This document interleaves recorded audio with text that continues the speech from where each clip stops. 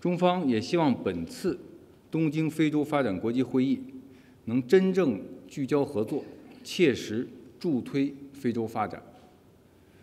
关于你提到的第二个问题，有关的报道纯属是无端的推测。中方一贯乐见非洲合作伙伴多元化，欢迎包括日本在内的国际伙伴在平等和相互尊重的基础上。帮助非洲实现持久和平与自主可持续发展。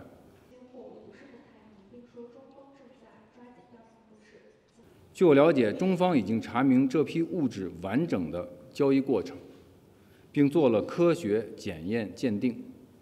我可以告诉你，运往墨西哥的这批货物不是芬太尼，也不是列管的芬太尼前体。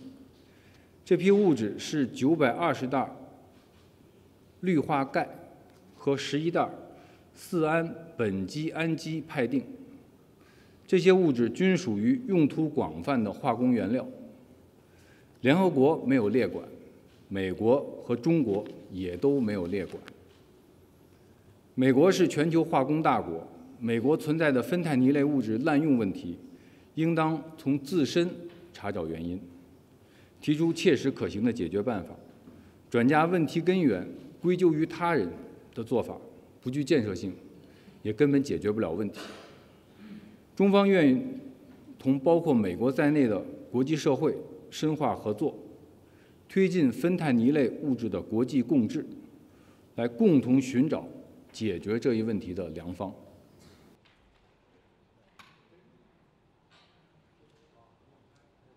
澳方的一些言论完全是颠倒黑白。而且自相矛盾。他们一方面口口声声说尊重中国司法主权，不干涉中国的司法，另一方面却对中国的主权范围内的事情指手画脚，企图来指责施压。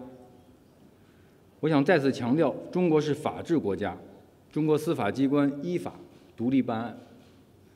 我奉劝澳方立即停止。发表没有根据、不负责任的言论，停止炒作和施压，多做有利于中澳关系和双方互信的事情，而不是相反。